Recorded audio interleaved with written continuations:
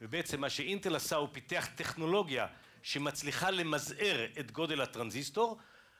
מזערנו אותו מ-99 180 ננומטר. כל שנתיים בערך אנחנו יכולים לשים פי שניים יותר טרנזיסטורים על פיסה אנחנו עושים את זה כבר לאורך זמן אני אדבר על זה אחר כך אבל זה בעצם מפעל שברגע זה נמצא בחזית הטכנולוגיה של אינטל זה המפעלים החדשים ביותר ואנחנו עושים בו את המוצר החדש ביותר.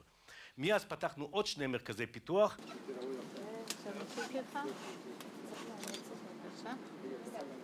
השרופים 20 דונם. 20 דונם? 20 דונם. שזה... כמה? 20 אלף. שזה בערך...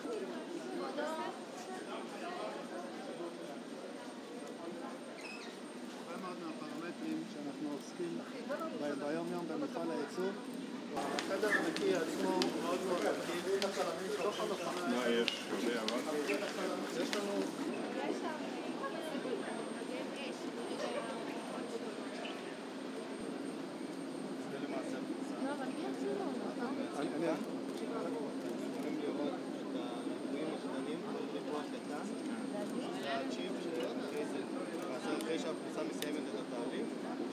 נשלחת לחיתוך.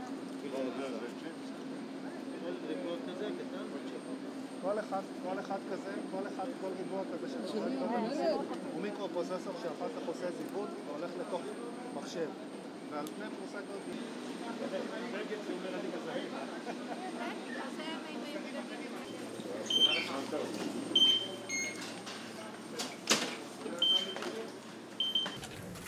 אין מקום שממלא אותי יותר גאווה מאשר ביקור בייש... במקום הזה, במפעל הזה. צריך להבין שהמפעל הזה הוא בשיא הטכנולוגיה, אבל הוא פסגה ישראלית שאין דומה לה. מה שעושה המפעל הזה, אין מפעל אחר שעושה בעולם. בחוכמה בלתי רגילה, בשליטה טכנולוגית מדהימה, ועדיין בראשית הדרך. עדיין צפוי למפעל הזה דברים עצומים.